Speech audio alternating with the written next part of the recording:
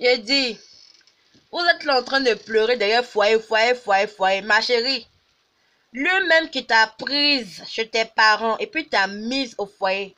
Mais il reste pas dans ton foyer. C'est le faire à la Le gars te met dans le foyer et puis lui, il est toujours dehors. Tu sais que c'est pas un bon foyer? et c'est toi, tu vas rester dedans. Tu es devenu coq fou. Ou bien tu es devenu mâchoire piqué. le feu dans le foyer. Le gars est dehors. Toi, tu es assise là-bas.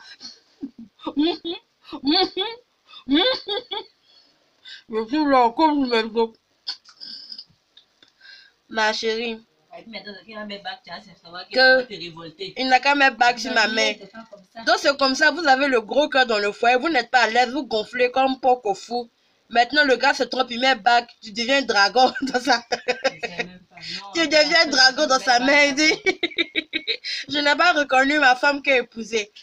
Il t'a épousé, tu étais un mouton dans le foyer, il a fait ton méchoui. Tu es cuit, maintenant il met bac, tu deviens dragon.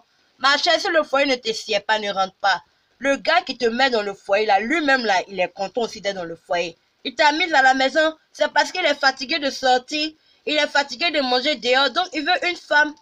Mais un gars qui n'est pas fatigué de manger dehors, qui n'est pas fatigué de sortir, lui-même, il n'est pas prêt pour le foyer, c'est avec lui l'on fait foyer.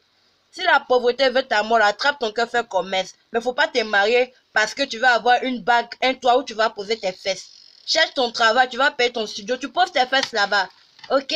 On appelle ça vie à deux. On n'a pas dit que gardien de la maison. Même magnifique, il était gardien aujourd'hui là. Il est mort. C'est pour dire que être gardien, hein. c'est mal soigné. trop soigné. en lui-même. Même en prison, es trop fâché. Dieu bénisse la Côte d'Ivoire. A encore toutes les femmes qui sont dans les foyers avec des hommes qui savent pas ce qu'on appelle la vie à deux. Et à tous les hommes qui sont mariés à des femmes qui sont devenus des dragons, attrapez vos cœurs. Hmm? Les dragons là, ils n'existent plus. Donc vous pouvez tuer ces dragons là. Esprit des dragons. Va de ce corps